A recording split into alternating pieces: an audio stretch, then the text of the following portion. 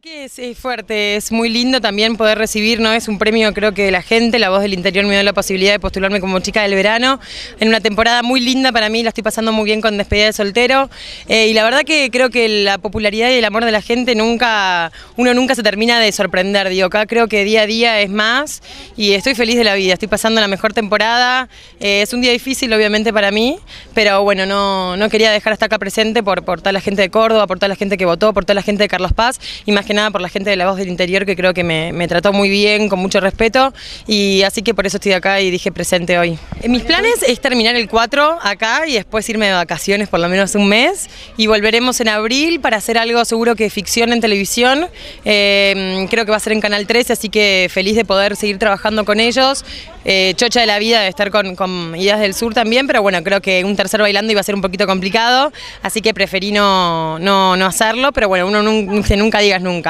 Así que nada, estoy feliz de la vida, eh, con muchos proyectos y viendo a ver qué hacemos, si hacemos o no despedida de soltero por gira por toda la Argentina. Te vas a dedicar definitivamente a la actuación. ¿Querés ir por ese lado? Sí, es lo que más me divierte, la verdad que es lo que más me divierte y estoy enfocada en eso. Siempre traté de estudiar toda la vida el tema de la actuación que me encanta, así que espero poder dedicarme a esto. Bueno, y es porque tal vez,